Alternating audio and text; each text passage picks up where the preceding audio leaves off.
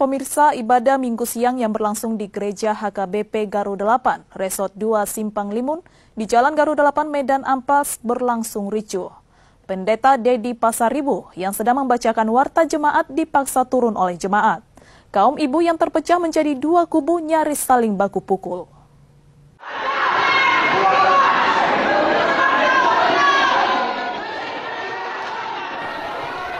Kericuhan yang terjadi di gereja HKBP Garu 8 di Jalan Garu 8, Kelurahan Harjo Sari 1, Kecamatan Medan Amplas, berlangsung pada minggu saat pendeta Dedi Pasaribu membacakan warta jemaat. Jemaat yang tidak mengakui pendeta Dedi Pasaribu sebagai pimpinan gereja HKBP Garu 8 mendesak sang pendeta turun dari mimbar. Kericuhan meluas.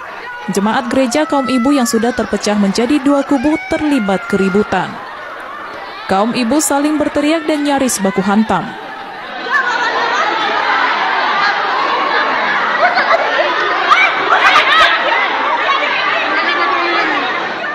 Sementara jemaat kaum bapak meminta pendeta Dedi Pasaribu turun dari mimbar. Petugas kepolisian sektor Patumbak yang bersiaga berusaha melerai kedua kubu jemaat yang bertikai. Namun keributan terus meluas hingga ibadah minggu berhenti tanpa komando.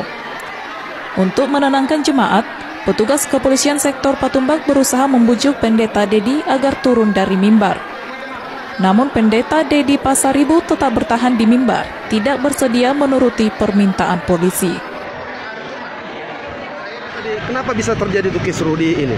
Karena saya bilang Pak, gara masalah antara pendeta katanya udah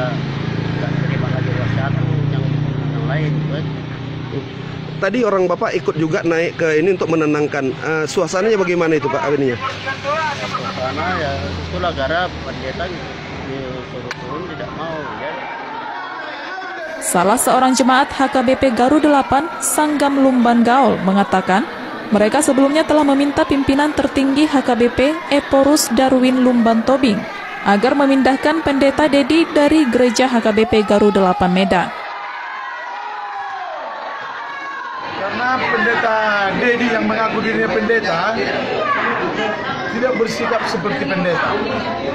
Suka menaga orang, membuat syarat terhadap uh, sesama antar berumat beragama. Pernah diusirnya orang parkir di gereja ini sudah itu menghasut sesama kami. Dari dulu kami sangat akrab. Setelah sempat berhenti selama satu jam lebih, ibadah minggu di gereja HKBP Garu 8 akhirnya dilanjutkan usai Kanit Intel Polsek Patumbak, Ibtu P. Lumban Batu, melakukan negosiasi kepada pendeta dan jemaat yang bersiteru. Dari Medan, Henry Sianturi, Anyus melaporkan.